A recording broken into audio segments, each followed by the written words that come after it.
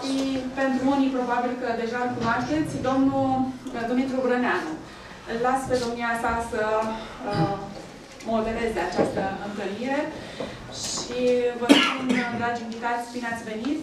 Vă urez succes în activitatea pe care uh, o depuneți și mă bucur foarte mult că nu uitați niciodată de elevi și de noi profesori. Da.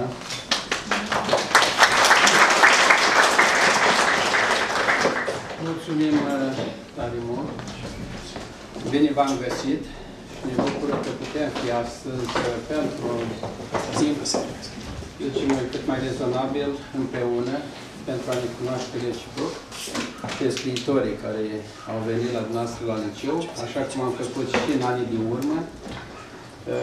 Poate unii din clasele nu știu, a 12 ne-am mai întâlnit și în anii din urmă și anul trecut, atât la planul Barcovian, cât și la Vanguarda 22. Și ne bucură că putem fi astăzi cu dumneavoastră aici pentru a face schimb de impresi, pentru a cunoaște, de fapt, niște scriitori, niște oameni și ei acolo, nu? Care uneori vă dă de lucru, în sensul că scriu pentru ca să citiți, ca să vă îmbogățiți spiritual, să vă îmbogățiți sufletește, să creșteți frumos, pentru că sunteți tineri frumoși și așteptați foarte multe de la viață. Că am plinit atât materiale cât și spirituale. Profesionale, în primul rând, așa cum vă doriți în mijloc. O să vă prezint uh, pe invitații liceului noastre, o să iau de unde, în stânga. Domnul Neagu Gheorghe, care este redactor, director și redactor revistă Oglinda Literară. V-am lăsat câteva numere și la dumneavoastră aici, la bibliotecă, ca să le citiți. De la Focșani. Domnul Cornel Galben, băcăvan de nostru, critic literar. Domnul Cornel Paiu, iată un preot care scrie frumos și scrie poezie. De la de la Bălăușești. Da, Roman Bălăușești. Bălăușești, da. Așa. Domnul profesor Parascan de la Iași. Alexandru Ancuzu. Cuza. Domnul Dan Iacob de la Neamț, scriitor, memorabile despre ceea ce înseamnă creștinism, istoria creștinismului, interpretări din uh, area creștinismului, din scrierile creștine de-a lungul celor, celor două milenii de existență a creștinismului. În dreapta mea, domnul Telu Leonti, Băcăuan. Să vi-l prezint sau știți? Domnul profesor Ioan Neacșu, care a fost la noastră ani buni profesor, actualmente pensionar, critic, literar, viitor de cultură. Cât poate nu vă știu. Eu credeam că mai Domnul care este managerul televiziunii Actualitatea Literară. Televiziunea literară. Ființă cam în zilele acestea, da, da, da. dar sperăm să ajungă cel puțin la nivel național, dacă nu a ajuns de mondial. Da? Cu ajuns, te spune domnul. Da, pentru tineri, ne spus pentru tineri, televiziunea literară.ro ca să știți mai ușor, că voi cochetați cu internet. Exact. Și chiar întâlnirea noastră de astăzi, vedeți să filmați, o să o găsiți pe televiziune și o să vă vedeți acolo și o să ne vedeți și pe noi din nou, dacă o să vedeți cei care astăzi vă răpim din timpul, din, din tinereța voastră prețioasă. O să rog pe fiecare din invitați să spună câteva cuvinte, să ceea ce gândesc, dacă, dacă vor să recite, să recite niște versuri. O să vă rugăm și pe dumneavoastră, chiar am vrea să, fim, o să facem o chestie interactivă. Dacă vreți invitatul care vorbește și care își va prezenta, să-i puneți întrebări, să-l întrebați, să, să facem o chestie interactivă, să nu fie o chestie care noi stăm aici și vă spunem cum vreți și noastră nu uitați să mergem. Puneți întrebări, puteți să, să, să ne torpilați cu întrebări, de așa fel, vedem dacă facem față. Avem și tema, domnul Brânar, tema e pusă pe facultați acolo. Deci Deci adecvarea la... fenomen terapie române în epoca Dacă e Facebook scris și acolo, în atunci digital am este deci trebuie să într-adevăr ne reclamăm. foarte interesantă, foarte actuală și chiar merge. Îmi cer scuze dacă am fac spate. Asta dacă doamna profesoară a stabilit întrebările cu voi. Le-a stabilit ca să Nu, știm. Totul e spontan. O să rog pe domnul profesor Neagu, pentru că uh, directorul revistă Oglinda Literară, să începem cu dânsul și pe urmă continuăm. Dar vă rog, puneți întrebări. Eu nu o să mă ridic în picioare pentru că sunt obosit de drum. și o să vă rog să îmi dați voie să spun câteva cuvinte despre oglinda literară. În sensul că și la mine are www.oglindaliterară.ro și o găsiți pe internet, dar v-am lăsat și câteva numere diferite la doamna directoare pentru ca să intre în patrimoniul bibliotecii, pentru ca să o găsiți, să aveți adresa acolo și să vă trimiteți creațiile să le uh, vadă lumina tiparului mai mult decât să vede pe internet. Pentru că dacă e un defect pe internet sau goană de faliment, s-ar putea să nu mai avem nicio scriere pe internet. E un risc. De aceea rămân la credincios uh, idei de a tipări lucrurile de esență care se nasc în creierul dumneavoastră și ale voastre. În momentul de față am venit cu drag spre Bacău, n-am mai fost de vreo 2 ani de zile, chiar 3. Am fost la un festival la Craiova, unde am văzut scriitori din vreo 40 de țări, în care toată lumea s-a simțit minunat, pentru că un președinte de Consiliu Județean, un prefect, o primăreasă și nu mai știu ce director de centru cultural, au stat cu noi în majoritatea momentelor din cele patru zile de festival Talovit. Aici avem norocul de faptul că poetul Brăneanu este și om politic și că le iubește. Altfel nu știu dacă ar fi venit cu un primar sau l-ar vrea să ocupa primarul puțin. Sau uh, ar fi venit cu un președinte de Consiliu Județean să ne onoreze cu prezența. De aceea încercăm pe cât posibil să ne prezentăm cam ce suntem și ce facem, pentru ca nu cumva după aceea să nasc niște confuzii. Printre ultimele realizări ale mele sunt uh, de notat apariția a trei cărți în Statele Unite ale Americii pe un site care scoate și forma tipărită, se cheamă Amazon și îl puteți găsi. Și am anunțat acum două săptămâni că a apărut prima carte și că în următoarele săptămâni apar alte două. Asta e ceea ce mă face oarecum să fiu mai încrezător că în recunoașterea a ceea ce fac. Pentru că un scriitor, dacă nu e recunoscut ca atare, înseamnă că degeaba scrie. Mai mult, uh, am uh, primit uh, a treia diplomă papală de la 3-4 până acum. Cred că sunt singurul scriitor care am 3-4. De la 3 diplome. Da. Uh, A fost și Benedict, a fost și Ioan Paul și acum și acesta care uh, văd că face mare vogă în Statele Unite și la ONU, mi-a trimis o diplomă de recunoaștere a cancelarului. Eu nu mai știu acum cine, ce și cum, pentru așa ceva. În condițiile acestea, cred că pot să vă stau în față cu fruntea sus și să vă citesc și un uh, fragment dintr-un poem, din poemele din Templu. După cum vedeți, pe partea aceasta sunt mai mulți oameni legați de uh, spiritul ecleziastic, de creștinătate. Poemele din Templu nu are de a face nimic cu biserica așa cum o văd ecleziașii, e un templu de multe ori al creației, al iubirii, al templu poate să fie și castelul de Fildeș, cum spun, unde poetul se ascunde să-și mărturisească vina de a simți în metafore lumea și a de o transfigurare. Și am să vă recit foarte pe scurt câteva uh, pasaje din cuvântul. Păi mai mai lung și nu vreau să vă plictisesc. Apropo, am lăsat și vreo 5-6 cărți de ale mele, tot la bibliotecă, în care puteți găsi și alte lucrări. De fapt, scriu mai mult proză. Așa că, pentru ca să stau alături de poeți care sunt mai harnici decât prozatorii, mi-am permis să valorific și partea aceasta, că altfel prozatorii se întâlnesc mai rar, așa că poeții mai mă uit și eu ce mai e prin jur și mai mă întâlnesc și eu cu scriitorii care prășesc cu această tabla sensibilă. Cuvântul se cheamă.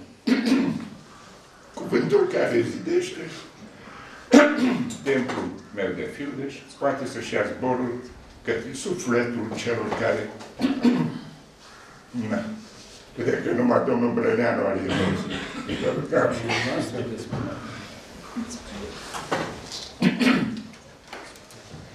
Către sufletul celor care nu și-au găsit încă drumul spre lumină. Cuvântul care dărâmă zidul ce stăvilesc drumul spre lumină. Cuvântul celor care poartă în trup semnificația profundă. Cuvântul care ne ascunde chipul. Cuvântul care aduce gândul în care a luminii. Cuvântul pentru care s-au jertfit Libertăți în temnițe, cuvântul care a pervertit, cuvântul care a purtat în pântec desfrâlări, orgii, mistificări și sacrificii, cuvântul care a dus vieți la tăiat de stuf, cuvântul care a prostit mulțimea în delir, cuvântul rostit în cimitir sau în amvol, cuvântul de pe crucele stignirii lui Hristos, cuvântul lui Iuda, cuvântul care a putrezit libertatea în temnițe, cuvântul care a mai pus o piatră la templu, la fraților dornici de cuvânt. Poemul continuă mai departe, să las dumneavoastră plăcerea de a găsi continuare la bibliotecă și mă opresc aici, pentru că suntem cam mulți pentru a vă ocupa timpul atât cât am vrea noi să ne desfătăm de această frumoasă întâlnire cu Spiritul Tânăr Băcău. Mulțumesc! Mulțumim!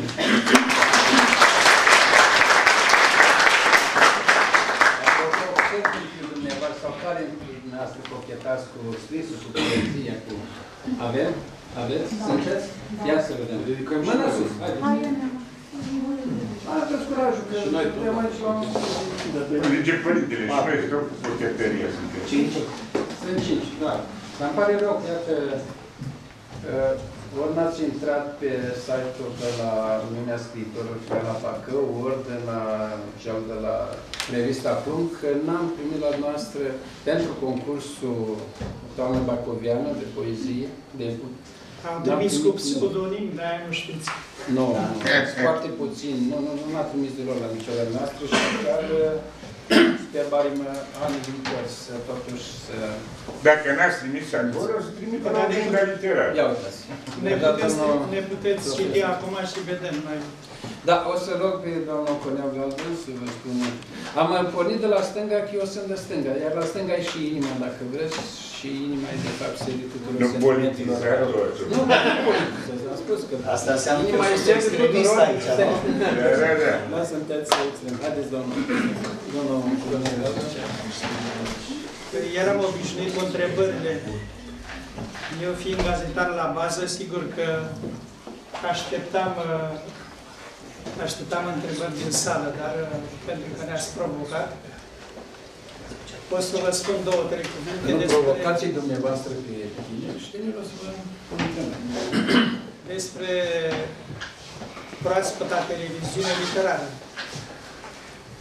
E o nișă de exploatat aici. Noi am pornit uh, săptămâna trecută și deja uh, o să găsiți cei care aveți acces la internet, o să găsiți uh, postate mai multe uh, materiale pe care le puteți vedea. Sunt consemnate manifestări care au avut loc în ultimele zile. La adjud au fost zilele, au fost zilele bibliotecii, unde s-au întâlnit uh, scriitori din Vrancea în deoseb, dar au venit și din țară.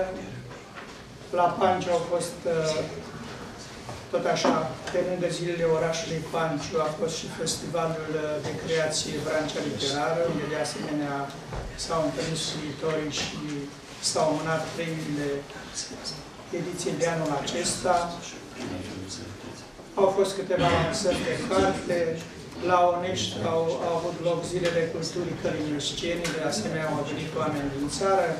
Aseară am fost la uh, o lansare de carte a poetului uh, Leonid uh, Iacob, îndrumătorul Cinatului Mugurii, de la Clubul Elevilor.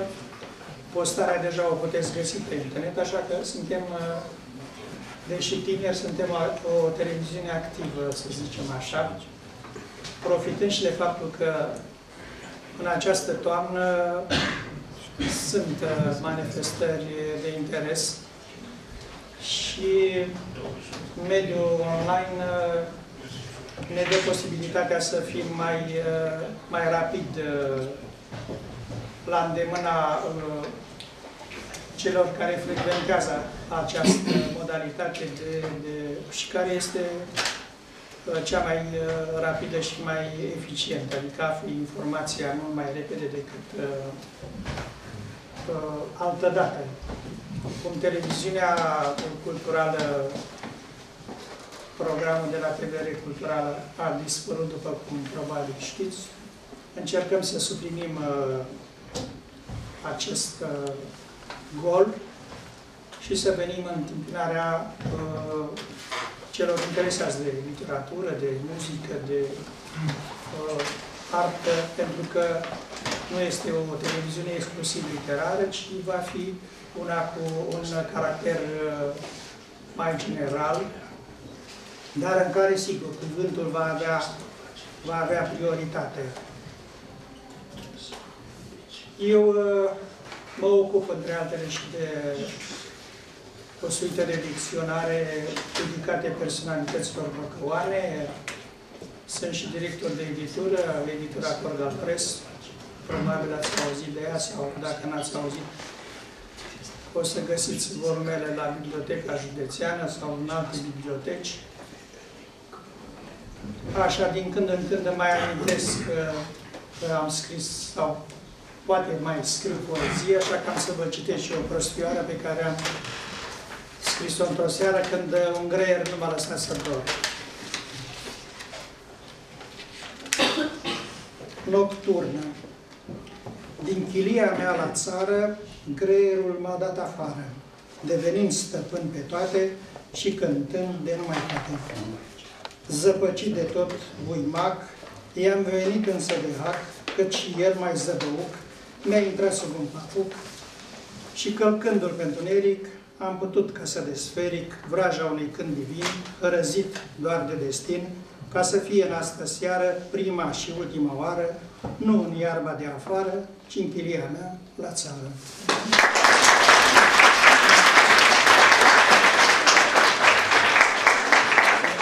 Vedeam că domnul Gabriel vă provoacă, să vă provoc eu. Hai să vedem uh, care dintre noastre vrea să răspunde la următoarea provocare. Credeți voi tinerii, cartea în forma clasică, scrisă pe prima, e necesară sau ajunge cea de pe internet, cea din, din electronică, din forma electronică? Haideți! Sau părerea, vedeți care, m-am spus săptămâna schimb de idei, nu? Care?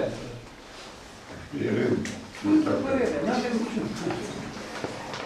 Haideți! Hai, poți să răspunde domnule? Nu, nu, nu. Vreau să auzim părerea tinerilor, de asta vrem să facem schimbul acesta de Părerea noastră, cum vedeți că sunteți tineri, sunteți viitori. Aveți acolo în dreapta, Da, haideți, vă rog. să citiți cartea acolo. Vă rog să Zi. Da, mi se pare foarte necesară, pentru că este altceva când ții cartea în mână și când simți acele file și, nu știu, contopești într-un fel. Cartea. Da. Iată o părere bună. Sau mirosul de pagini. Cum? Nu că miros ca platou, nu sunt mirosul stilii din Ceva. paragrafe. Mai există și memoria vizuală, ținem minte anumite paragrafe de la anumite pagini. Cartea, într-adevăr, când o citești, și așa, haideți. Cartea în sine îi face să vizioneze întâmplarea, acțiunea mult mai bine decât tot ce se știe de net. Lumina de la calculator te împiedică într-un fel și la carte când ești liniștit oriunde, te faci să imaginezi mai bine. Este mult mai Da. relaxant să citești o carte. Cum? Este mult mai, mult mai relaxant să citești o carte decât să stai acolo și un calculator sau să pe tabletă, da? Mai e o chestie, cartea când o citești, îți dezvoltă imaginația, îți dezvolți mintea, îți- altfel decât când ai de gata totul de pe un display, de pe un ecran. Altfel te dezvolți și spiritual, altfel te dezvolți repet, și ca imaginație, altfel te dezvolți și altfel percepi lumea. Calculatorul îți dă imagini, nu te ai obligă la imaginație. Să gândești tu, să, să imaginezi. Da. Uh, O să mai apar niște întrebări. Vedeți, se poate. Putem să, dar eu aș vrea să mai puneți și celor care citesc. Sunt și avantaje și dezavantaje. Corect. Vorba este care sunt mai multe. Cred că mai multe sunt avantaje decât dezavantaje să citești o carte. Pentru prim. Pentru că te-a scris. Pentru cartea scrisă, da, nu pentru cea... Ați fost odată la biserică? Ați văzut o liturghie la un capăt? Da, da, da. Ei, ia imaginați-vă că preotul ar veni în loc de cartea aia foarte frumoasă cu o tabletă. Dar putem să citești pe tablete, da, vreau să vedem. Ia să vedem ce zice părinte. Chiar să vedem. Părintele aici. Iată că domnul profesor a făcut o introducere. Ați fost la biserică, așa, da? Asta e bine. Dau și o carte. Dacă ați fost la biserică, înseamnă, iată că am venit și eu la voi. Uh, Sunt uh, Părintele Cornel Paiu, de la Roman, exilat la Roman, dar altfel mă consider cetățean al Universului. Vreau să-l felicit întâi pe domnul uh, Gheorghe Andrei Neagă pentru poemul citit, fragmentul de poem citit, să-i uh, spun că și aici suntem într-un templu, și într-un într templu oarecare, ci un templu, să spunem, templul poeziei. În numele poeziei am venit cu toții. Care spunea domnul Neagu că poeții sunt mai, mai harnici decât prozatorii. Eu aș spune invers. Eu cred că prozatorii sunt mai harnici La întâlniri. decât uh, poeții. La La întâlniri. întâlniri. Dar nu l-a scris. Pentru că una e să scrii un roman și alta e să scrii uh, un, un volum de versuri. Mă uitam la Arghezi și încercam să primesc de la el un mesaj. Îl uh, vedeam acolo privind către noi argheziani. Apoi de Goga, nu, l aveți acolo, le veghează și el. Eu am venit cu trenul și mi-amintesc că Goga scria poeme foarte uh, inspirate în, în tren. Venind de la Roma cu trenul astăzi, am scris și eu un poem, dar e în caietul care e lăsat în portbagaj la mașină. Nu pot să vi-l citesc, o să vi-l citesc altă dată. Uh, acolo e Hogaș sau, uh, sau Creangă? Cine? Coșbuc. Coșbuc. Da? Iată și Coșbuc. Coșbuc care a, a scris și poezie pentru copii uh, de excepție și nu numai. Și m-am apropiat astfel de poemul domnului Cornel Galben, care este un poem cu greie, nu? sau cu greiere, care poate să figureze într-o antologie ludică a copilăriei, fără nicio problemă. Este extraordinar. Gândindu-mă la greiere domnului Galben, uh, o să adaug și eu o mielă mai, uh, la final, un poem care se va încheia cu o mielă cu amintirea unei mierne, cu cântecul unei mierne. Dar până atunci vreau să vă spun că și noi la Roman uh, desfășurăm o activitate literară. Avem o societate culturală care se cheamă Societatea Culturală Clepsida. Facem uh, conferințe, lansări de carte, vernisaje, uh, întâlniri lunare cu scriitori, cu poeți, cu oameni de cultură piese de teatru, aducem uh, trupe de teatru și uh, facem evenimente acolo.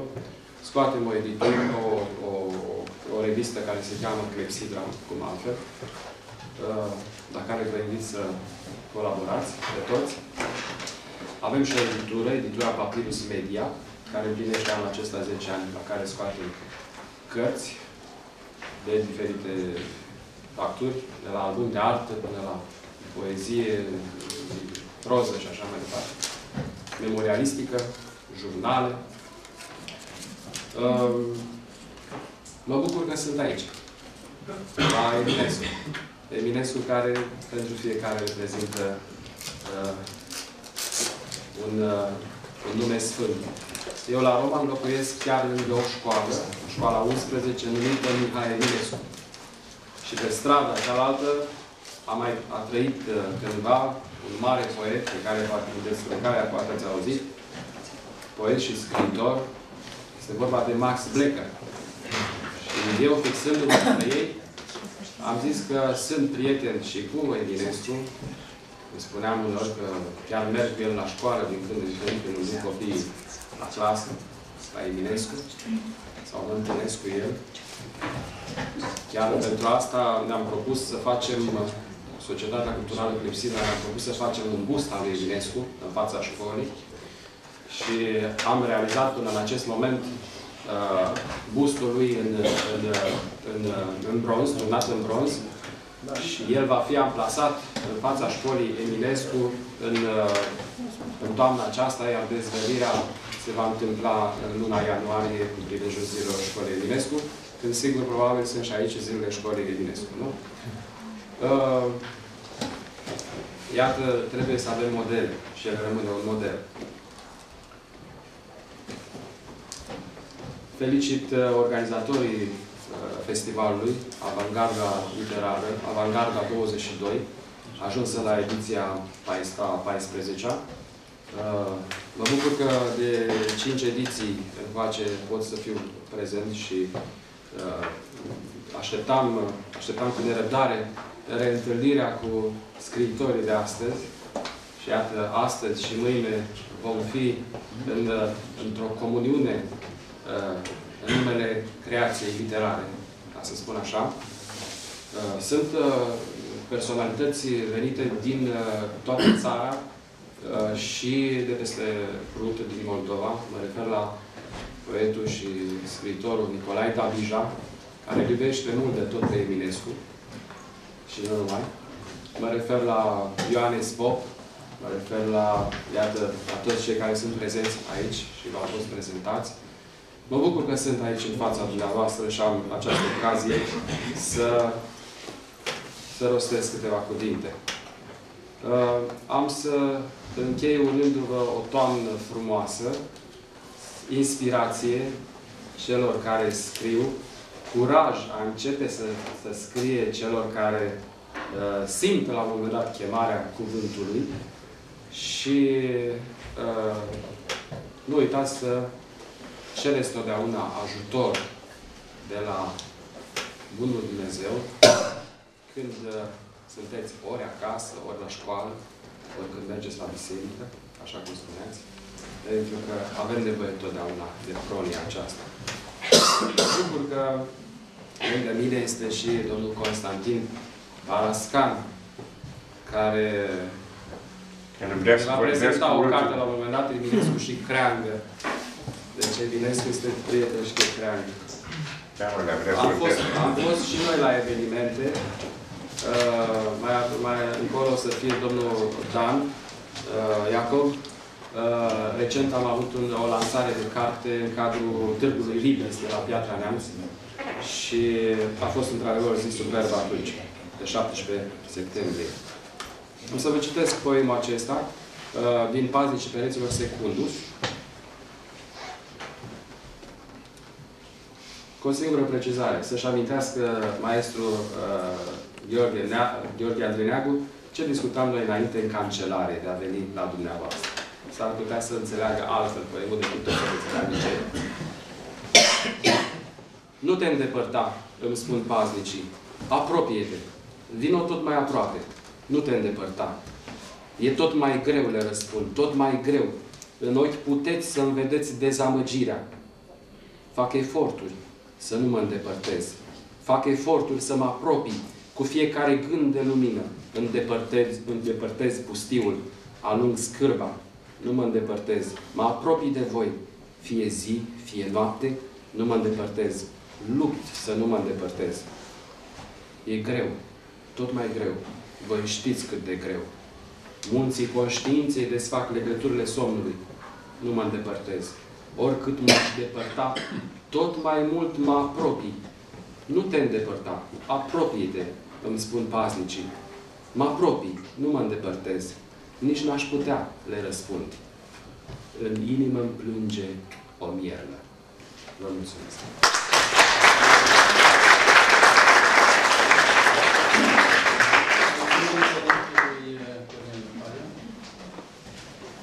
Avangarda 22 se vrea o deschidere și o punct dacă vreți, uh, o deschidere pentru acest uh, nou mileniu, pentru acest uh, secol, care a început acum vreo 15 ani. A venit cu noutăți în zona literară și această deschidere pentru tânăra generație care să participe la concursul internațional pe care îl organizează Avangarda, pentru că noi așa trebuie să stimulăm tineri de talente cei care scriu. Și apropo de scris, chiar credeți că mai e nevoie de scris? Mai e nevoie de scriitori, de, de a scrie, de a... S-a scris destul, s-a scris biblioteci întregi. Ia să vă văd părere. Credeți că mai e nevoie? Până vă gândiți să vă Scris de spun, mână. să vă spun că Așa scriu pe uh, animatorul acestei uh, manifestări uh, nu e nimeni altul decât poetul Victor Munteanu, care este la un alt liceu, dar uh, lui se datorează festivalul. El l-a inițiat și el îl organizează, sigur, cu sprijinul uh, Autoritățile. substanțial al uh, finanțatorilor, Consiliul care sunt și Județean. Consiliul Județean. Da, haideți. Chiar mai e nevoie de scriitori și de scris? Nu avem de scris. Spuneți, domnișoare, și vă spuneți și numele, ca să vă mai consemnăm și pe aici. Uh, Da, uh, Bianca. Uh, Da, de ce să nu fie nevoie de scris, nu ar trebui să se continue arta literară. Chiar dacă datează încă din antichitate, tot trebuie să continuăm acest lucru, pentru că arta e necesară în viața noastră. Deci scriitorii sunt necesari până la urmă în so- în societate. Dar ce, nu poți să faci și credite fără să citești? Ah, Cititul dezvoltă inteligența și normal că sunt nevoie de acest lucru. Mulțumim, altcineva. Este important să avem scritori și în generația aceasta, pentru că comparativ cu secolul trecut și cu secolul acesta, este altfel mod de a scrie o poveste și în secolul ăsta uh, acțiunea întâmplată în opere este specifică celor tineri, celor care caută acțiuni. Dar nu crezi că e aceeași mai cu altă pălărie? Și acum tinerii nu mai sunt interesați cu același povesti secolul trecut. Au Da. alte- Da, dar le, le pot uh, reactualiza. Domnul Neagu a publicat un tânăr de aici, de la liceu, cu niște povești extraordinare, scrise într-un uh, într-un alt limbaj, în limbajul vostru, dacă vreți. Hai nu rău, care? Între- Întrebați-vă, domnul. Da, Neagu, da. că el știe. Uh, un elev a scris uh, niște povești, uh, să zicem așa, postmoderne. Adică, în loc de Prâstea, cel voinic șumerele de aur, a scris șumerele de argint și a scris o uh, poveste care mergea pe textul povestii clasice, dar cu aluzii la realitate, cu unele chestii care erau uh, la granița licențiosului, niște chestii uh, formidabile. Dar se poate, de ce? Din Să păcate, se nu la mai vezi mai romană, departe. face. Da, da, da. Vă rog, domnișoare, haideți să ascultăm pe deci. Noi vorbim. Este foarte important pentru că, în primul rând, uh, pentru scriitori, este o eliberare a sufletului. Uh, Cititul și scrisul îți alimentează sufletul, îl fac să fii altfel, te diferențiază. Da, da. e bine. Este cineva aici. Da, Fără scriitori se pierde cultura unui neam, iar un neam fără cultură nu mai este neam. Își pierd identitatea, nu? Da. Se topește în uh, și așa mondializarea asta pe care vorbim. Scrisul este de o artă, cum am putea să evoluăm dacă nu am mai scrie, dacă nu am mai scrie. Este, nu este evident uh, această necesitate a apariției cărților și scriitorii contemporani trebuie mult mai mult apreciați și să citim mult mai multe cărți. Bun, asta să vă ajute să vă dezvoltați și voi imaginația și să scrieți, vo- să scrieți și voi ceea ce trăiți, pentru că fiecare generație trăiește în felul său și fiecare generație își consumă energia în felul său. Percepe lumea în felul său. De aceea, cum, cum spune, M-a spus uh, colega mea că... nu, nu, cum îmi spune întâi? Ah, Vlad. Vlad. Vlad are dreptate în ceea ce spune, într-adevăr. Este specific pentru fiecare generație modul său de a se manifesta, de a găsi exprimarea în lumea în care trăim, mai ales într-o această lume hipertehnologizată sau care tinde să se mondializeze. Și atunci trebuie să ne găsim, să găsiți voi cei tineri exprimarea și nișa în care se vă dezvoltați spiritual.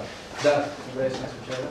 Uh, Ca, de exemplu, romanul Ion sau uh, ceva, sau Mara sau ceva genul, au mai exact aceeași tematică cu morala patima banilor.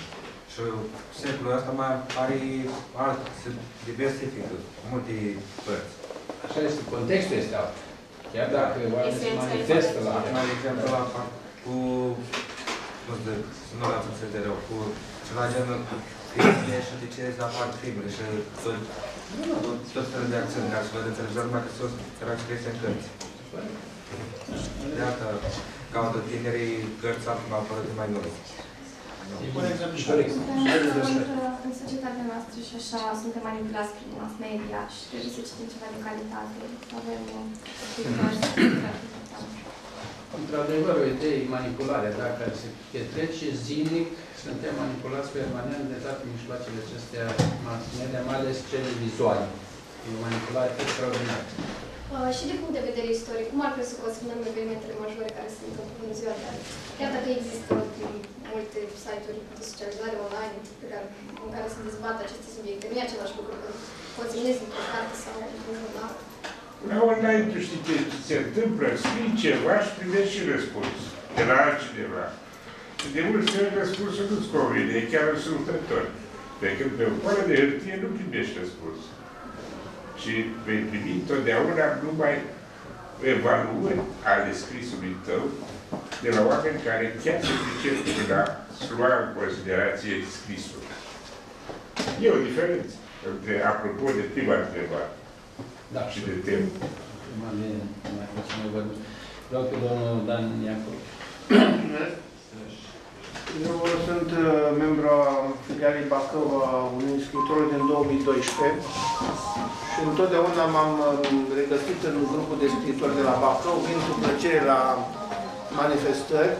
Am avut și câteva lansări de carte la Bacău, um, ultima dintre ele având loc în uh, anul acesta, cu antologia mea Iisus Hristos, creștinismul, biserica, o sinteză a celui de-al doilea mileniu de gândire creștină. Din fericire, anul 2015 a fost pentru mine foarte bogat. Am reușit să public trei cărți. O carte de eseuri de la Nistru până la Nisa, pe care am lansat-o la Bookfest și la Târgul de Carte Libris. O a doua carte, o carte de versuri din tinerețe pe care părintele și prietenul meu, Cornel Paiu, m-a ajutat să o public la editura Papyrus Media din Roman. Și uh, iată antologia de la Nisu până la Nisa și cartea de versuri 28 de trepte ale Realului.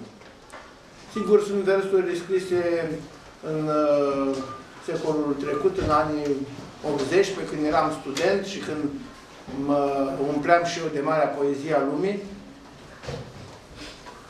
Tema pe care dumneavoastră ați ales-o, deci destinul literaturii române în epoca Facebook, vă semnalez o carte a teologului și gânditorului Teodor Baconski, poate ați auzit de ea, Facebook, Fabrica de Narcisism.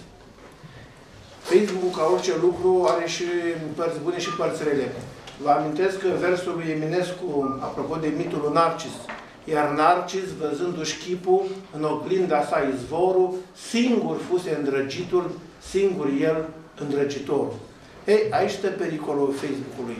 Pentru că postând tot felul de fotografii cu tine însus pe Facebook, ai sentimentul că tot universul se învârte în jurul tău, toată lumea te admiră și ești buricul pământului, ca să spun așa. Ei lucrurile nu sunt chiar așa. Facebook-ul, spune Teodor Baconski, Dumnezeul Facebook-ului nu este un Dumnezeu mântuitor. Deci te amăgești crezând că poți să te realizezi în viață, că poți să-ți construiești o personalitate postând fotografii cu tine în tot felul de ipostaze, la ziua ta, la nunta nu știu cui, pe câmp și așa mai departe. Deci fiți foarte atenți cu Facebook. Dar eu însumi am adresă pe Facebook pentru că am o trupă de teatru lectură pentru vârsta a treia la Biblioteca Județeană unde lucrez și am adresa Arlechin, trupă de teatru, am și o adresă personală pentru că, fiind scriitor, anunț prietenii mei de lansările de carte de anumite evenimente. Dar uh, dacă intrați pe adresa mea de Facebook, veți vedea numai lucruri legate de cultură, de scris, de întâlniri. Din nefericire, noi avem, suntem binecuvântați în Moldova. Moldovencile noastre sunt foarte frumoase. Și când deschid Facebook-ul, așa o avalanșă de chipuri serafice și buchete cu flori și și, și cam atât. Hei, bine, sunt și lucruri îndoielnice, dar acum trecând, deci vă semnalez această carte a lui Teodor Baconski, Facebook, Fabrica de Narcisism, la editura Humanitas. Acum revenind la întâlnirea aceasta, iată, este a 14-a ediție a acestor întâlniri Avangarda 22, eu sunt născut într-o zi de 14, deci iată este un semn că la acea de-a 14-a ediție a trebuit să fiu și eu prezent. Și nu vreau să vă, să vă țin prea mult, dar am să vă recit și eu o scurtă poezie, pentru că, deși scriu în principal eseu, v-am spus din când în când îmi încerc condeiul și în poezie. Ia uitați pe ce vă Păi da, pentru că nu am, nu am volumul la mine, de pe Facebook. Și am să mă ridic în picioare pentru că am făcut uh, și teatru foarte mult și o poezie este în picioare. E o poezie de dragoste, intitulată E toamnă iar. Am scris-o în 2008. Spune așa poezia. E toamnă iar și îmi sună în ureche adâncul glas de clopot pașii tăi. E toamnă iar și șoapta ta mă îndeamnă să nu mai rătăcesc pe alte căi. Să mă întorc etern pribeag prin lume, la tine și la ochii tăi de foc, la îmbrățișarea ce a născut în mine atâta viață și atât noroc. Dar o să pot învinge o lume întreagă ce-mi risipește pașii pe poteci sau o să cad răpus, golit de vlagă, cum au căzut înainte multe zeci. E toamnă iar și simt arzând în suflet dorința de a fi numai al tău, dar duhuri nevăzute, ca într-un urlet, îmi umplu lumea cu păreri de rău.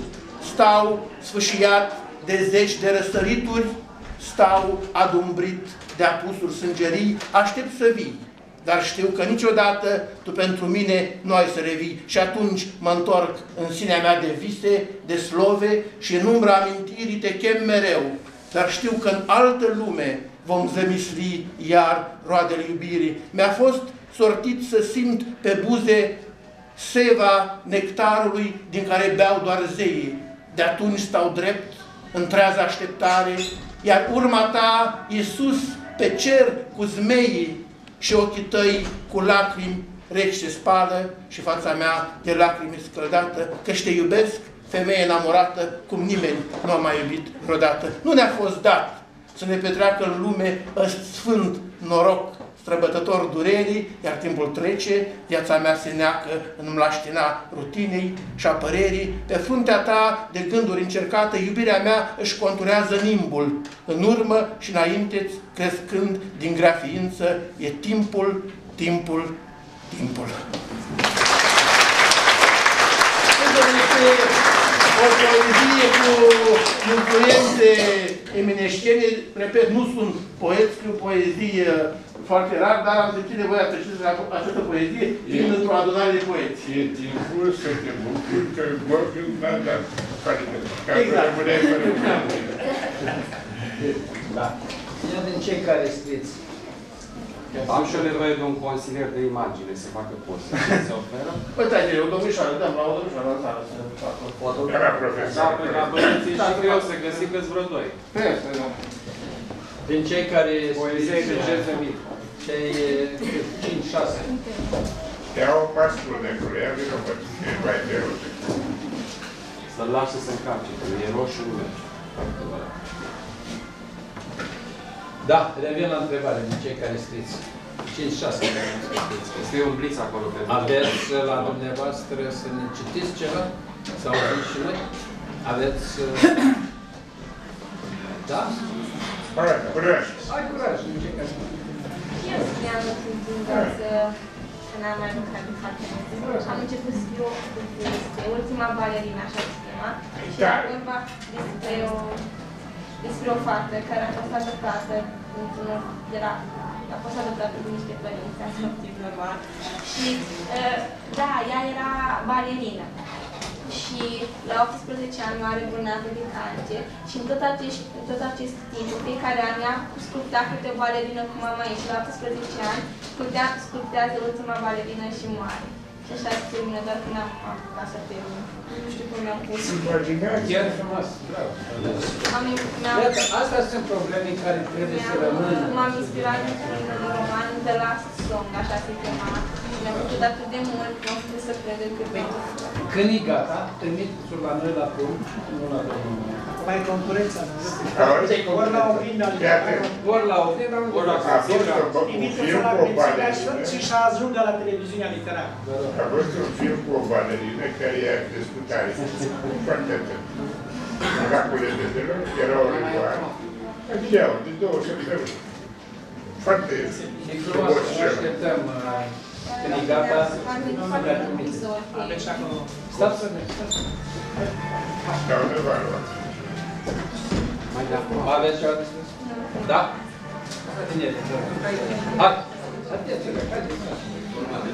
Da, nu contează. Formatul electronic, chiar că ne ajută uneori, e chiar necesar. Pentru toamna aurie își, își varsă parfumul prea dulce și îmbracă divinul decor. Începe să tremure drumul ce duce, îndeat, unde plânge, tăcut, în izvor. Frunza bătută de brumă și ceață, prea leneș se lasă plătând într cor. Agare sculptează în aer o viață și apoi o țese pe un covor. Culoarea prea tristă forțează o notă ce deschide o ramă de vântul tăios, vântul de toamnă. Îi sfârșie ochii tot mai alert. Parfumul de toamnă încet mă se duce și zboară în strușnic într-un plământ. Îmi trezește sentimente ascunse și îmi pare că tânăr, dar parcă-s bătrân. Privesc cum cocorii pleacă departe și vreau și eu să zbor printre ei. Ce frumos și ce trist e în toamnă. Dumnezeu este unul, dar eu știu că trei. Mă așez sub nucul bătrân de la poartă și privesc cum nuanțele se îndețesc. Singurătatea mă ține aproape, tristețea mi soară ce o iubesc. Mai arunc o privire și văd cum dispare soarele mândru, dar rece între noi. Natura semnează tratate de jale, prin trupul de gheață traversează flori. Începe să plângă și cerul ca sombru, mă retrag în tăcere lângă un geam, doar noaptea cred că poate înțelege durerea de toamnă pe care o am.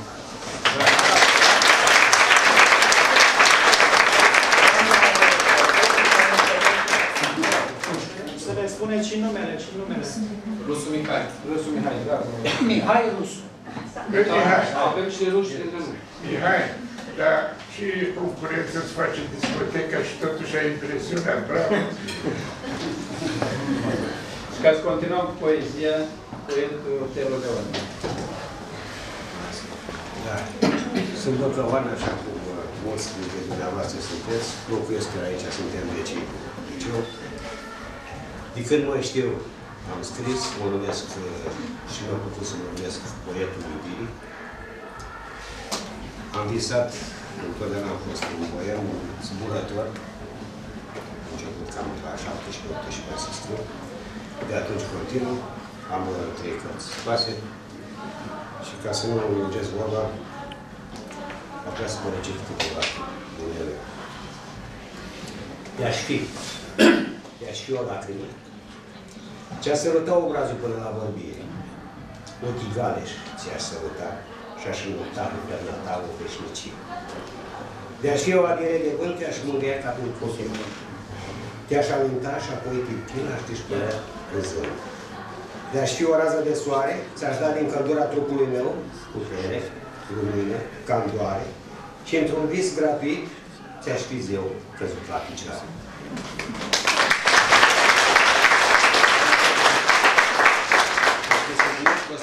Este 134 de ani la nașterea Macovia, Trăisul Băcăvani. Îmi permit să scriu o poezie. În genul gânditor, coșește agale spre amurguri violete. Frunzele ce ies în cale sunt ca niște majorete ce fac zeci de piruete peste sufletul trecut. El și muza lăcrimată se prelungă printre noi. Îi simțim atât de aproape lacrima încătușată într-o temniță de ploi. Singur cuc și cuc năuc peste partituri de rouă și a pus sufletul pe strune să vibeze cum era. N-a cerut vremii clemență, dar uitarea nu-i plouă. Toamna aproape de demență, l-așteaptă iar și iar.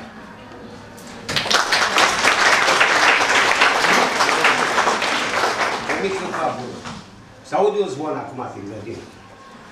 Că ar vrea să vină Domnul Împărăție, mă întrânt o rebadat dintr-o stupină. Cu el mă duc și am să-i fiu mireasă.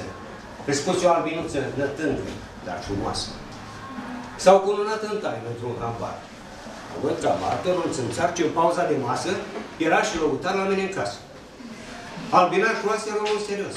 Muncea din greu, era vârtos, iar el, fiind cel mai mare puturos, se răpăia în jilțul boi, fuma numai țigări din foi și apoi se mai ducea o lună, două pe la boi. Când toamna le bătut în geam, în cuibul lor de nebunii nu exista decât un pat de ceară.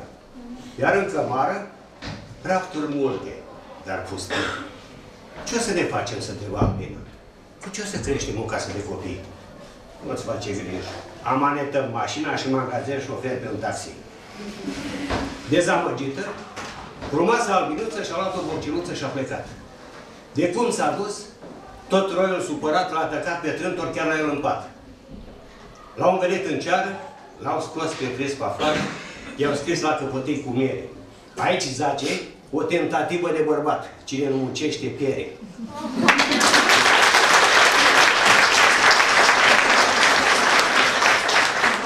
Aveți deja albinuțelor.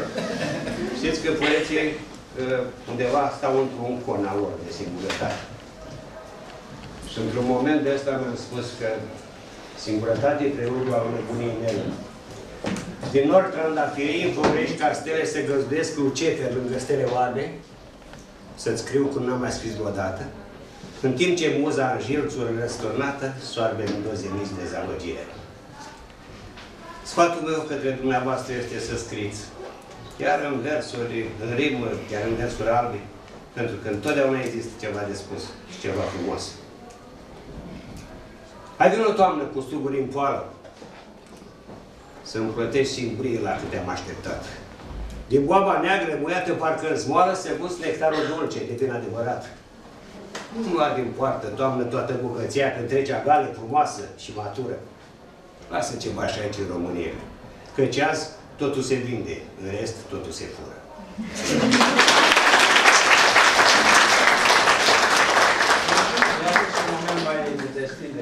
Din cauza lui nu vin autoritățile. Totul se vinde. Totul se fură, da. Uh, Se completează. Se completează că n-am Conturi prin Elveția. Sau se împrumută. Se poate spune și așa. Da, uh, să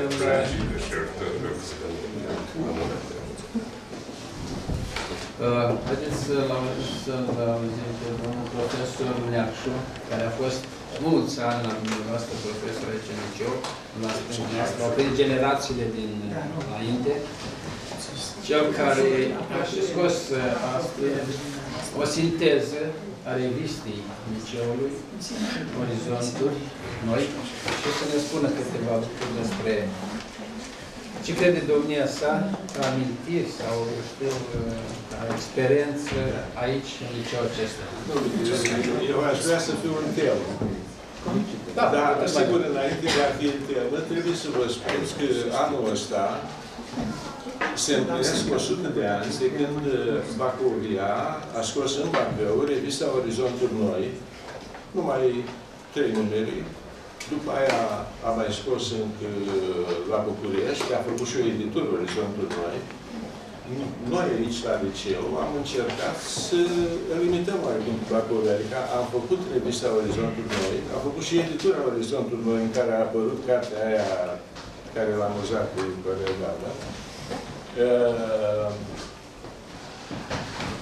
și anul ăsta, pentru că se împlinesc 100 de ani de la apariția revistei lui George Bacovia și pentru că noi i-am luat oarecum numele, așa cum Ateneul a luat numele revistei tot al lui Bacovia din 1920.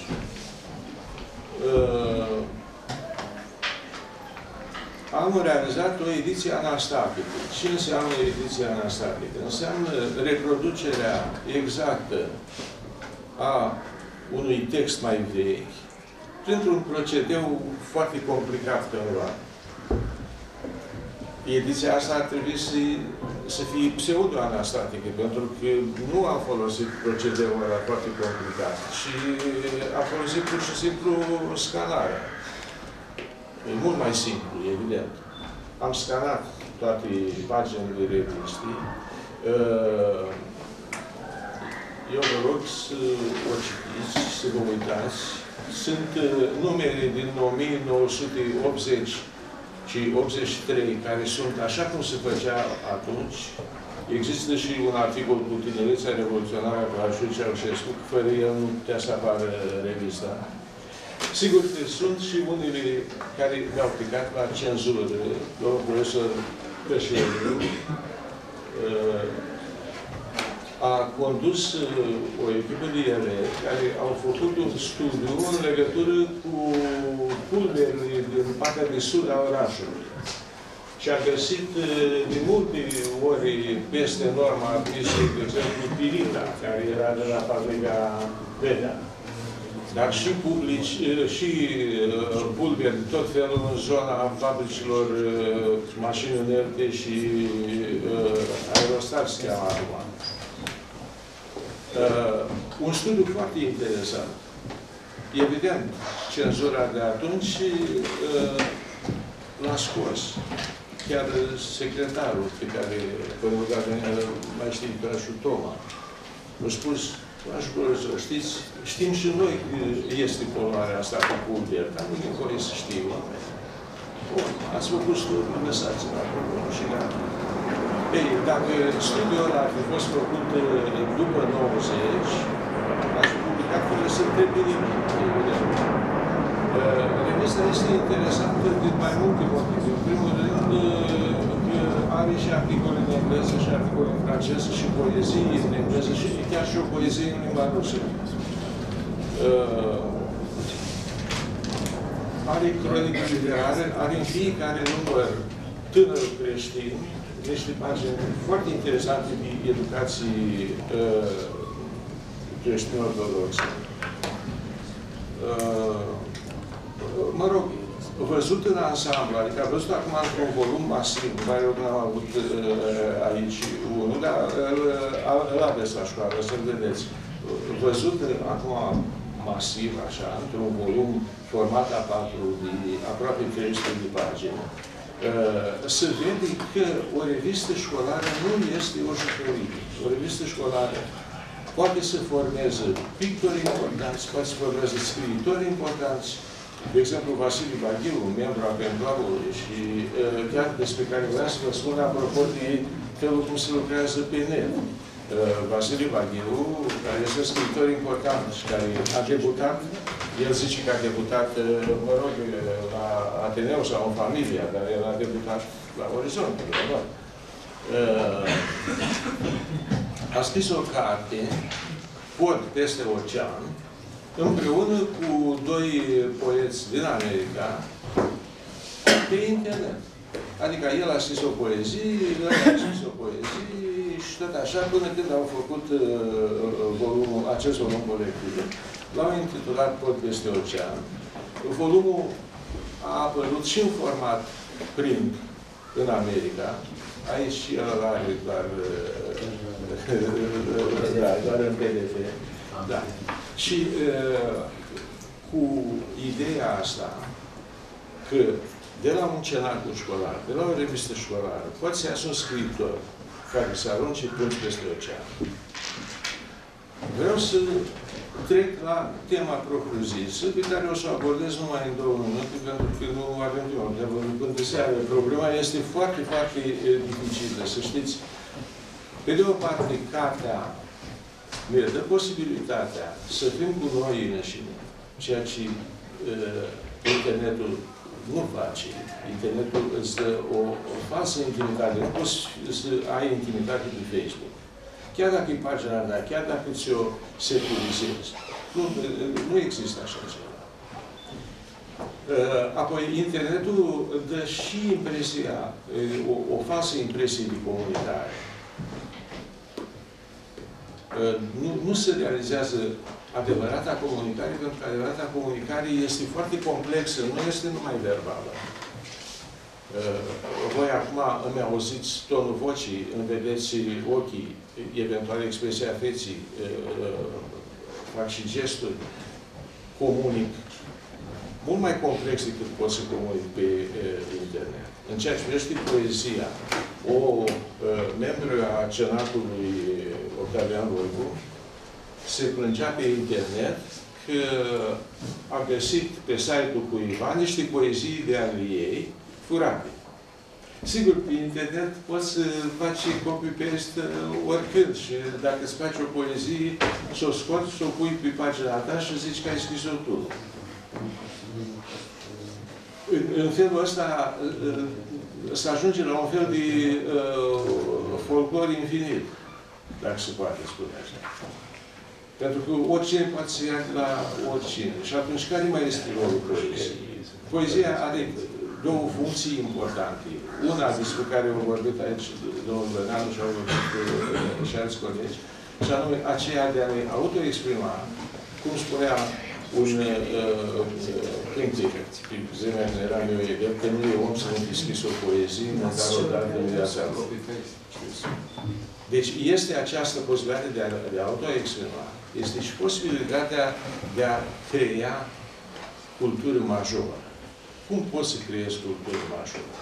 Cultură majoră nu poți să creezi decât având în primul rând tu o foarte pre, solidă pregătire culturală.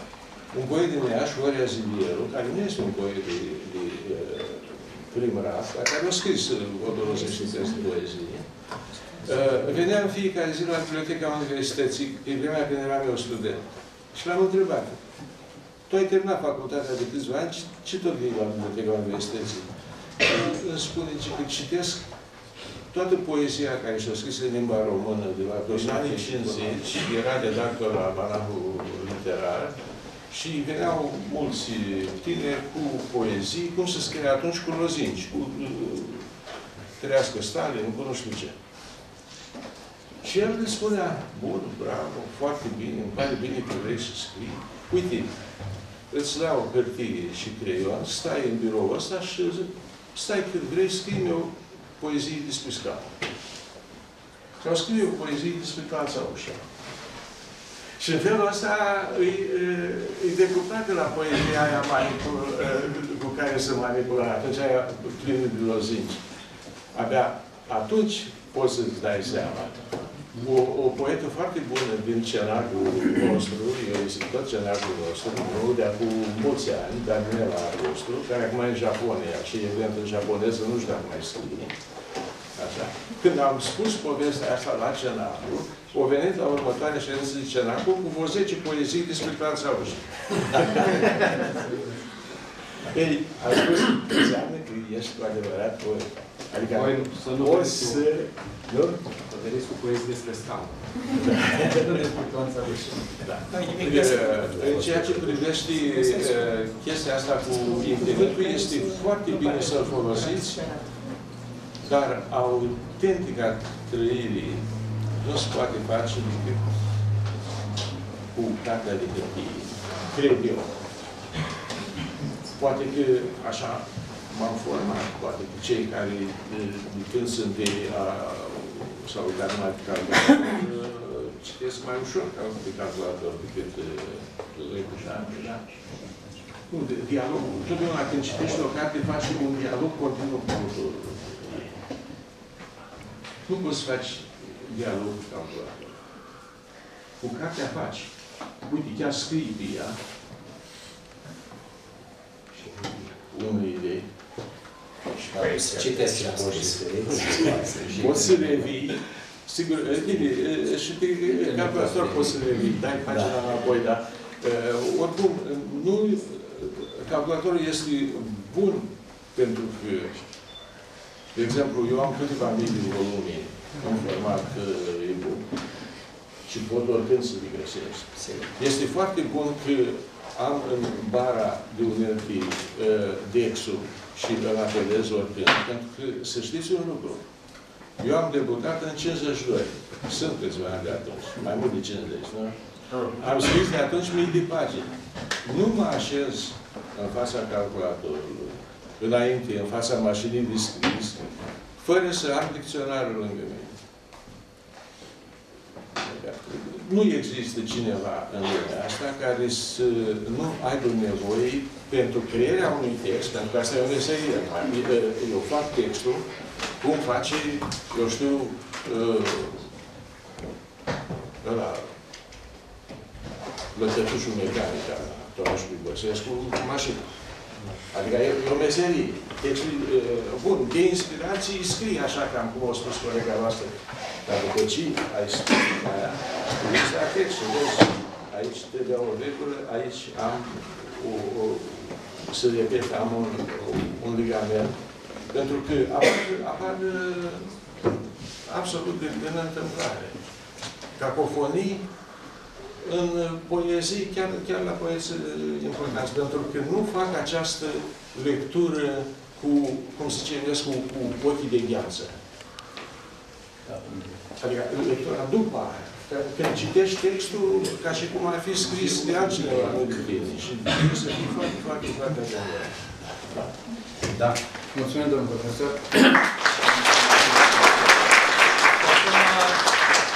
Două întrebări fulger, flash. V-ați plictisit? Nu. Cine o știu? Și a doua. Haideți să vedem uh, care sunt uh, scriitorii noastre preferați, vorbesc de scriitori români. Ne cunoaște care și 2, 3, 4, 5 scriitori care îi considerați noastre. Atât de mulți, nu? Am fost spun mai mult, atunci dacă spun numai unul... Zic Eminescu. Tot așa se cheamă Nu știu dacă... Cam Eminescu, dar nu e obligatoriu, pentru că nu totdeauna... Întreb ce o să zică tinerii ăștia, ce prizorii o să fac când o fi de vârsta noastră. Și eu mai fier părând atunci. Să apară extraterestri între timp. Au găsit poemi și vedere. Da. Haideți. Cine nu place? Haideți, nu aveți, nu citiți, nu vă plac scriitorii români? Care e cel mai... Au sintezele pe internet, așa că ce să-i mai... Eu zic internet, da. Vreți să spuneți la sine? Spuneți, Amișana, vă aștept. Nu, chiar să Bacovia? Da. Da. Altul? Eminescu vă place, de exemplu? Da. Citiți? Dar știți numele de scriitor contemporan din Bacău? Rănean. Da. Da, e real. Ce chinuiți voi pe Gata. Atunci haideți să mergem mai departe, ca domnul Ungureanu, vă rog. Da, eu o să fiu Mai foarte gândeți scurt. foarte timp, poate. Dar o să vă spun o chestie practică. În primul rând vă mulțumim pentru că ați invitat televiziunea literară alături de dumneavoastră și văzând atâta tineret aici, mă simt și mi-aduc aminte că în timpul liceului eram extrem de îndrăgostit. Dar voi sări peste această chestiune și atunci am scris primele poezii pe care le-am și acum probabil că o să le public uh, cândva. Destinul literaturii române. În acest context, Facebook și LinkedIn. O să vă întreb următorul lucru și sper să lămurim împreună un aspect. De fapt, știm exact ce este Facebook-ul, dar știm ce este LinkedIn, nu? Dacă expresia e corectă. Haideți, câți aveți cont de Facebook? Ridicați mâna sus. Câți aveți cont de LinkedIn? Mult mai puțin, vă spun eu. Câți aveți? Ei, și atunci, și atunci, dacă unul dintre dumneavoastră e din elev, da? mai priceput așa la internet poate spune ce înseamnă LinkedIn. Pentru că această Uh, sigur s-au spus aici foarte multe lucruri și nu vreau să mă repet, o să spun doar ceea ce nu s-a spus. Ce știți despre această rețea de socializare? Sau dacă nu știți foarte bine, dați voi să vă spun eu. LinkedIn este o rețea de socializare, ca și Facebook, dar nu este atât de populară, pentru că, de fapt, acolo scrii CV-ul tău profesional. Este, este o, o rețea de socializare, să-i spunem, de elită. Acolo nu oricine socializează cu tine. Se uită întâi, vede ce studii ai, vede modul cum vorbești, modul cum te exprimi, ce poză spui, dacă... Deci dacă, să spunem cu alte cuvinte, ești un om de calitate. Pe când Facebook-ul uh, încearcă să cuprindă absolut totul. Și ceea ce nu știți dumneavoastră, vă spun că, uh, din fericire, fiind și un, hai să spunem, un expert IT, da, nu foarte mare, unul mai mititel, vreau să vă spun că am întors pe toate fețele, și o să fiu scurt astăzi, pentru că o să mai avem ocazia să ne întâlnim, pe toate fețele această rețea de socializare. Iată, dumneavoastră, și mă adresez așa cu respect și elevilor și domnilor, vă puneți viața pe tavă, pe această rețea de socializare. Dar oare și acum mai pun o întrebare înainte de a continua. Câți a, ați avut șters contul de Facebook până acum? Cel puțin o dată. Ridicați mâna. Iată, un aspect foarte important. V-ați depus sufletul. Ați muncit. Ați muncit. V-ați făcut o pagină de internet a clasei, a grupului, a profesiei dumneavoastră și iată ce se întâmplă cu această mare construcție super capitalistă Facebook. Ei, Desigur, eu iubesc Facebook-ul. Prin această rețea de socializare ne popularizăm toate filmările pe care le facem cu, cu televiziunea noastră. Dar, atenție mare și vă dau un sfat și ar trebui, eu mi-aș dori să merg în cât mai multe școli să vă spun că, din păcate, noi suntem sinceri cu Facebook. Facebook-ul, ca și construcție globală, nu este corectă cu noi.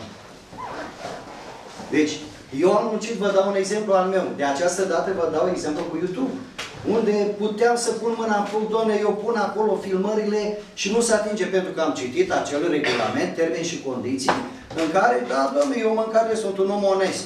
Și la un moment mi-au șters munca de 10 ani, filmări, interviuri, opere, tot felul creații, videoclipuri. La un moment dat mă întrebam, eu fiind și artist, mi-am compus singur muzica, am scris versurile, am cântat și mă întrebau dacă am drepturi de autor. Deci, iată la ce uh, riscuri uh, uh, ne putem uh, supune la un moment dat datorită politicilor. Uh, este foarte important și este foarte bine să ai contul de Facebook, dar poate un pic de grijă, un pic de atenție.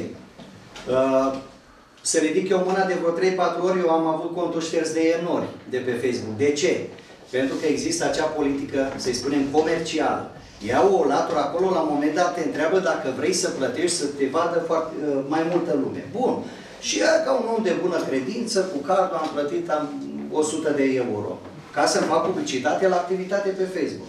Ei bine, îmi veneau niște rapoarte, impact vizionări, 275. Ei, dar aici, aici este marea păcăleală. Pentru că apărea pe, uh, că m-a vizionat, să spunem, uh, Cornel Galben, dar Cornel doar a văzut, a apărut pe pagina lui, dar nu înseamnă că el a citit postarea mea. Deci, atât foarte, foarte multe aspecte. Este o metodă foarte bună, foarte modernă, e extrem de utilă nouă, această rețea de socializare. Dar trebuie să aveți în vedere că totuși capitalistul încearcă să te forțeze să obțină profit de pe urma ta. Ori aceste rețele de socializare sunt create, de fapt a fost ideea, da, fondatorului. Dar noi creăm ace această rețea de socializare. Și vă spun foarte sincer, este mult mai util, sigur, comunicăm, dar de ce nu comunicăm, dragul meu coleg sau coleg, hai să ne întâlnim, nu? Hai să mai stăm de vorbă, hai să mergem împreună la film, hai să mergem undeva, hai să mergem la, eu știu, la ce spectacol. Deci încercați să nu vă uh, cantonați în fața calculatorului, și să folosiți uh, această rețea de socializare excesiv. Pentru că Facebook vă mai dau un răspuns. Este o modă. Este o modă acum. Mi-aduc aminte, eu am fost unul din cei care uh, am adus uh, în zonă primele telefoane mobile, în anii, după anii 90. Am fost unul din dealeri importanți.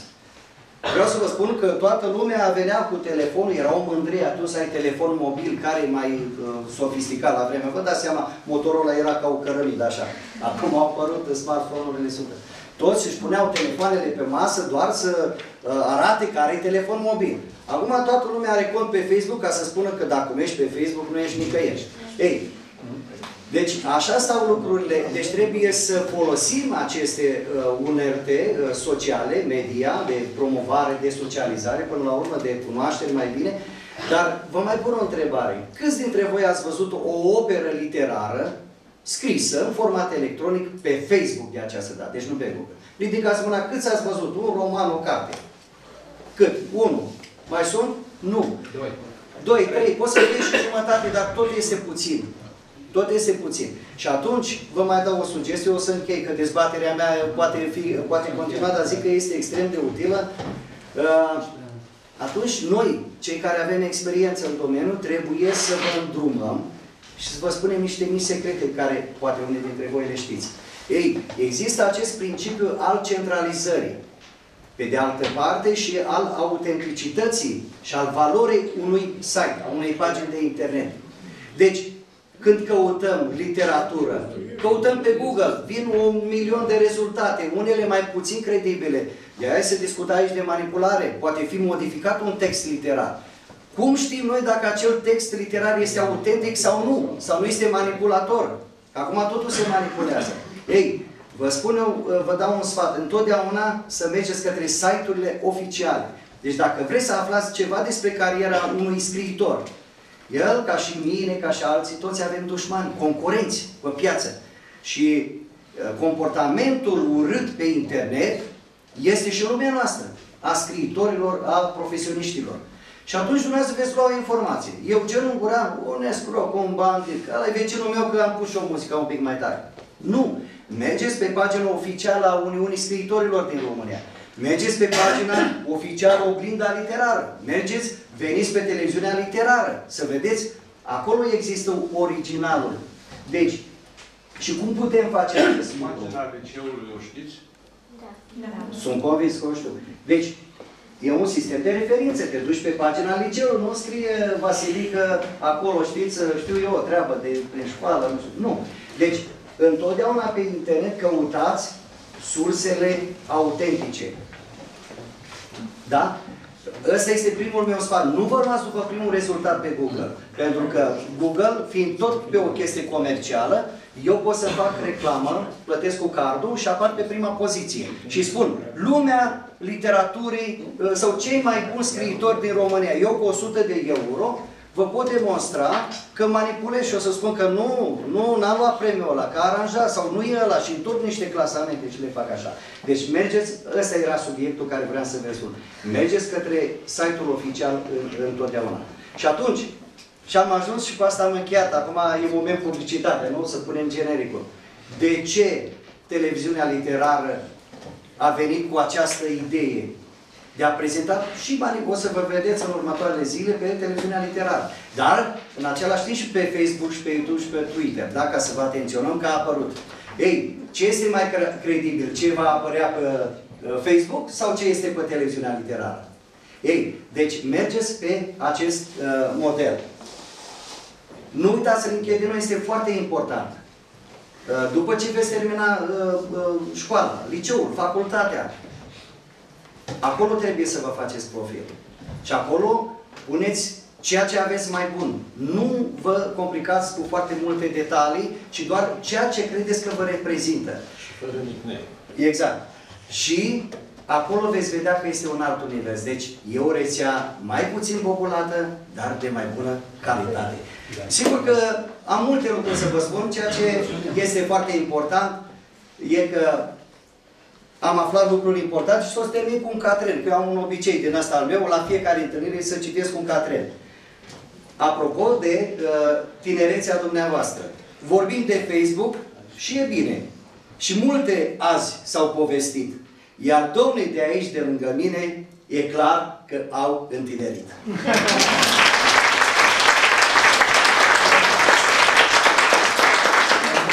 evident că ne apropiem. A uitat să spună un lucru esențial.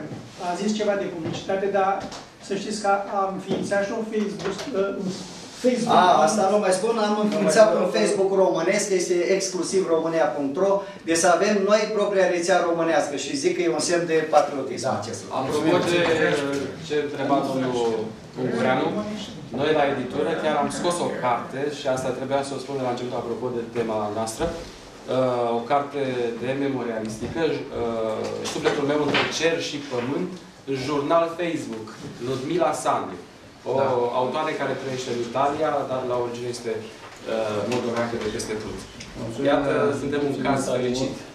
Haideți ca să ne apropiem de sfârșit, pentru că deja e o oră și ceva de când stăm împreună.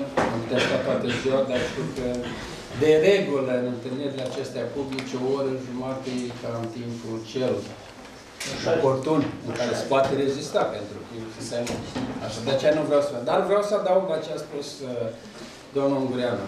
Facebook este baza globală de date a CIA-ului. Și nu o spun eu, au spus-o niște prezentatori americani într-o dezbatere public la o televiziune americană. Deci este baza de date a CIA-ului. Noi suntem toți care suntem pe Facebook, suntem în baza insectele, de date noi suntem insecte. Vreau să vă dau o mică, care e o chestie relevatoare. Vreau să vă spun că din momentul Bun, când s-a suntem mai trecut teroriști, de zeci de mii de ori, în momentul în care am trimis copie după cartea de identitate, numai așa am reușit să rămân și să, să nu mi se mai șteargă, pentru că era muncă Dar alea nu acolo. mi se șterg, alea rămân în baza de date. Bineînțeles, nu, dar vorbesc, nu mai erau vizibile. Am trimis copii, am fost forțat într-un fel să trimit copie după cartea de identitate. Ei, altă viață. Nu mai am niciun fel de probleme după ce am trimis cartea de Da, identitate. mulțumim. Domnul profesor Parascan, vă rog. Ascultă. Da, bucuros că mă aflu în compania colegilor de prezidiu aici, de fapt suntem cu voi. Bucuros că am găsit într-o școală oameni pe care i-am cunoscut bine și am avut la facultate studenți și m-au primit cu drag și eu mă, mă, mă întorc cu drag la voi. Sunt multe de spus, aș vrea să vă spun foarte multe, o să mă refer și la tema aceasta, dar înainte de asta, cu toții cei care suntem aici și care sunt în lumină în acest moment, venim dintr-o eternitate, fără să știm ce a fost, și ne întoarcem într-o altă eternitate. Fiecare după ceasul lui. Această bucată pe care o avem de lumină, o secvență o trăim împreună acum, depinde de noi ca acest, această secvență în lumină să nu treacă, românul a făcut uh, nenumărate proverbe, să nu, să lași bună ziua în urma ta, să, să nu arzi gazul degeaba, să, să... Deci tot ceea ce puteți face cu viața voastră, puteți face în această lumină. În rest nu știm nimic. Nu știm despre noi ce a fost înainte de a vă ivi în lumină, repet, și nu vom ști, cel puțin, până în acel moment. Nu vom ști ce va fi cu celălalt. Așa încât eu am avut această deschidere încă de când am început să înțeleg lumea și am făcut din viața mea, așa cum uh, uh, medievaliștii căutau să prelungească viața, căutau să, să găsească acea piatră filozofală, ea nu poate fi după o viață de gândire, de meditație, de căutări, de lectură, de, de așa, uh, decât într-un spațiu dat să, dila, să, să poți să, să, să dilatezi secunda. Cineva chiar la primul meu roman a, a descoperit acolo, chiar și-a scris uh, titlul respectiv, era vorba de Ușile nopții, a apărut în 1981, uh, dilatarea secundei. Probabil e o obsesie, e un gând, e ceva ce aș vrea, cu acest ceva aș vrea să plecați și voi de aici. Un minunat profesor al meu, care nu mai există, Alexandru Husar, de la Universitatea din Iași, ne-a spus așa la curs, că dumnealui a dat mâna cu Sadoveanu și că Sadoveanu l-a cunoscut pe Eminescu și deci el se poate considera fericit că el a dat mâna, l-a cunoscut, a respirat în preajma lui Eminescu și deci prin acest lanț al istoriei, așa vi se poate întâmpla și vouă, ați putut asculta astăzi scriitori care sunt în viață. peste un număr de ani, nici noi nu vom mai fi, vom rămâne cu cărțile și nici voi nu veți mai fi peste un număr mult mai mare de ani și nu e rău să știți, să vă gândiți, aproape în fiecare clip o să ziceți ce cu morbidul ăsta de Parascan. Eu Constantin Parascan. ce cu ăsta?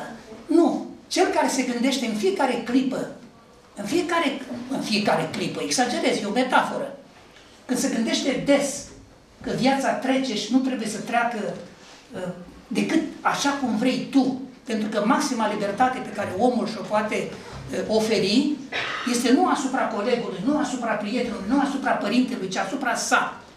El face cu viața sa, am și scris o carte, Gimnastica Umbrelor, despre așa ceva, deci ce cu viața sa face ce crede el. Și repet, e atât de puțină, te-ai ai băgat capul în bibliotecă și ai căutat niște cărți, ai pierdut, ai scăpat stiloul din mână și îl cauți pe sub bancă, pe, sub, pe lângă așa, și când te-ai ridicat, vezi că au trecut mulți, foarte mulți ani, aproape întreaga viață. Sadoveanu spunea că viața noastră este zborul unei păsări printr-o casă pustie, intrând pe o fereastră și ieșind pe cealaltă. Deci voi veți putea pleca astăzi de aici cu amintirea, deci eu care l-am cunoscut, sunt un mare norocos, le spuneam și studenților mei la curs. Am dat mâna cu Marin Sorescu, pe Argheze nu l-am cunoscut. Pe Ioan Alexandru, pe Eugen Simion, pe Zoe Dumitrescu Bușulenca, am cunoscut atâta lume, am și scris, de fapt, am făcut secretele lor în cărțile pe care le-am publicat eu. Deci și voi și această istorie, acest lanț, poate fi înzăuat și de voi și să se duceți mai departe. Peste 50 de ani, în mod sigur, voi veți putea vorbi despre noi, cei care am fost azi aici. Mergând acasă, poate vă notați în jurnalul vostru, am ascultat pe unul, de ăla mi-a plăcut, de ăla nu, ăla bătea câmpii, ăla a fost minunat, de ăla așa, așa, așa, așa. Ei, atunci veți retrăi și voi. Am avut această bucurie și dacă vă pot împărtăși și vouă, este extraordinar. În sensul acesta, Dumnezeu m-a trimis, după ce am terminat facultatea, să lucrez la muzeele literare din Iași. Nu e cazul să vă povestesc tot ce am făcut acolo, dar acum e cazul să vă spun. Eu am fost prezentat ca uh, ieșean, dar eu sunt de la o aruncătură de băzi de aici, de lângă Moinești, de la, din comuna Măgirești, unde pe 17-18 octombrie voi inaugura împreună cu oficialitățile, cu primarul, cu județul care ne ajută, Muzeul Răzeșilor Găzar de pe Valea Taslăului Sărat. O istorie a oamenilor din zona aceea. De ce? Să nu se piardă, să nu moară. Cât suntem pe pământ, să nu moară. Aveți o amintire, o, o amuletă, aveți o, o, un ineluș de la bunicii voștri, de la bunica, de la mama, de la ceva. Păstrați-o acolo. Păstrați-o. Pentru că privind-o, având-o în față, și mari scriitori ai lumii au gândit despre asta. De la Prus Citire, care își amintea de la un clichet, se întorcea în, în istorie. Deci păstrați aceste valori. Eu am păstrat încă de când eram copil. Dacă mă credeți, am și diploma pe care am primit-o în clasa întâia și o să, sigur, nu o să o expun acolo, că nu, nu fac uh, așa, dar o am eu, iar casa de alături este făcută de bunicul meu în 1880, toate neamurile mele au spus, strică mă casa și fă o casă ca lumea câte râde lumea. Nu! Acolo este sufletul lor. Și acolo, cândva, dacă veți putea veni, pentru că voi organiza și acolo, veți vedea istoria oamenilor din aceste, în aceste locuri, iar zona Bacăului, vreau să mai spun ceva, că Bacăul la 1774 a scris și o carte, spuneam uh, fostei mele studente, profesoara voastră, că Bacăul la 1774 nu avea nici măcar 100 de case. Și vă rog să vă gândiți, ce meditații puteți face cu asta? Se întâmplă ceva cu lumea, o înțelege altfel. De exemplu, Moineștiul, poate ați fost prin Moinești vreodată, avea 15 case. Satul meu era cu mai multe case decât Moineștiul. Ei, și am ajuns așa, din loc în loc, uitați-vă ce este în Bacău acum. Ei, lumea se întâmplă ceva cu ea, se întâmplă ceva cu noi, dar până la urmă noi, noi trebuie să știm ce se evoluează. Am ajuns în era uh, Facebook și LinkedIn, probabil că așa zicea fiul meu să, să nu, nu știu exact, dar vorbe mari se spun acolo, destinul literaturii române. Eu ca scriitor și probabil și toți colegii mei de platou din, din această zi, uh, contribuim cumva sau înțelegem destinul literaturii române și prin ceea ce facem noi, având în vedere că mijloacele moderne ne-au ușurat extraordinar. În uh, ceea ce scriu eu acum sau ceea ce am scris eu de când eram profesor la universitate, uh, vreo două, cred că 15-20 de cărți, nu mai știu, și pentru a trece de la gradele profesorale până ajunge acolo unde trebuia să ajung, uh, deci se petrece rapid. Literatura română câștigă în ultimii 20 de ani extraordinar în, în concentrarea vieții ceea ce vă spuneam mai înainte, acea piatră filozofală. Deci asta ne ajută. Eu scriu pe, pe calculator, o scot pe chițibușul ăsta care se cheamă stick și mă duc cu ea la tipografie și într-o zi, poate chiar și mai repede, îmi apare cartea. Este extraordinar. Eu am prins momentul când se culegea cu literă de, de plumb în 1980 și ceva, când am publicat primele cărți, se punea cu literă de plumb să lua acolo. Deci, profitați de, de, cum se spune, de avantajele extraordinare pe care vi le oferă și m-am bucurat de răspunsurile pe care vi le-ați dat. Aș vrea să vă spun multe, ar fi trebuit să vă spun ceva, dar sper să ne mai întâlnim noi în legătură cu Eminescu, că eu am aici o carte, Eminescu, Veronica și eu în Creangă trebuia să se cheme la Iași. Nu vă mai spun din ea nimic, pentru că vreau să închei în un minut și jumătate. O să, vă, să le dea uh, profesorii voștri, sau poate ne întâlnim o dată să discutăm despre Eminescu, Veronica și Creangă. Repet, aș avea foarte multe să vă spun lucruri deosebite, dar o să închei în aceeași notă în care am început, pentru că încă de când eram de vârsta voastră, am avut norocul să-mi cadă în mână un poem care vorbește exact despre un poem al lui Ion Minulescu, se cheamă Romanța noastră. Pe același drum, mânați de același îndemn nefast al năzuinții spre tot mai sus, pe același drum pe unde ieri trecură poate străbunii noștri și părinții, pe unde unii după alții drumeții trec de mii de ani, noi, cărora ne da să ducem enigma vieții mai departe și doliul vremelor apuse și al idealurilor scrum, pe același drum vom trece mâine, cerșind din țiterele sparte, la umbra zidurilor mute și a secularilor castani. Porni vom tineri, cum sunteți voi, ca albastrul imaculatelor seninuri. Și în calea noastră întâlni vom. O, câte nu poți să întâlnești când drumul e lung și nesfârșită e nezuința ce te mână spre întrezărite aureole, nimicuri scumpe, pământești. Porni vom tineri, porniveți tineri, sunteți, ca albastrul imaculatelor seninuri. Și mândri poate ca seninul albastru al sângelui regesc. Dar va veni o zi în care ne vom opri deodată în drum. Înspăimântați că în urma noastră vom pe alții cum sosesc, cum ne ajung, ne trec înainte și râd că nu-i putem opri. Da? Va veni și ziua în care vom obosi și va veni un timp în care al năzuinții și al aiurărilor parfum ne va părea miros de smirnă, iar cântul țiterilor sparte, un psalm, cântat de un preot gângav, la căpătuiul unei moarte pe care nimeni nu o cunoaște. Și atunci, privind în urma lor, ca cei ce n-au nimic să-și spună când nu-și pot spune tot ce vor, la umbra zidurilor mute și a secularilor castani, vom adormi ca și drumeții ce dorm uitați de mii de ani. Faceți, dilatați secunda, trăiți și fiți fericiți în lumină, să fiți sănătoși, să ne mai vedem.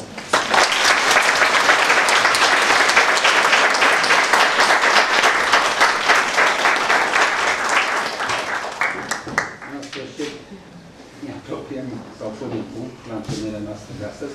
Nu de alta, dar peste o săptămână ne întâlnim iarăși. Nu cu aceeași scriitor, probabil cu alții, mai mult ca sigur.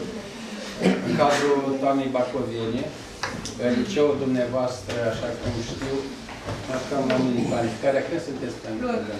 Luni? Da. La deschidere, da?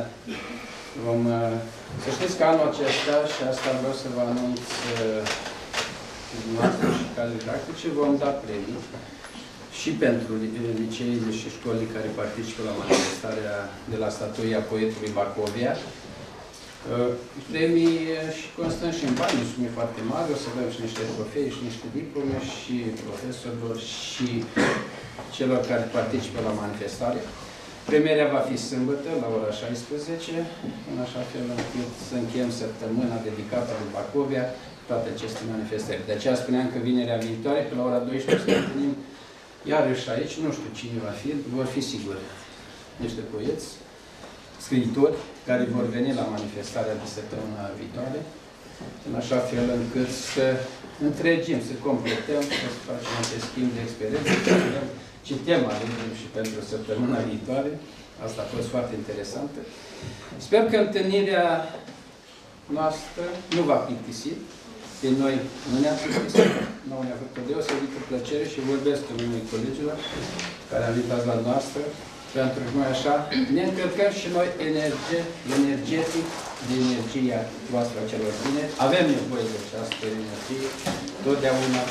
Și acest schimb, face în face, nu prin Facebook, apropo de Facebook, ci face în face atunci când îl vezi pe cel de lângă tine, când îl simți, când uh, îl vezi cum respiră, te spune cum gândește altceva decât pe un ecran pe rece, care nu spune nimic, ci doar vezi uh, persoana așa de. De aceea cred că nu trebuie să renunțăm niciodată la comunicarea care trebuie să fie între noi direct.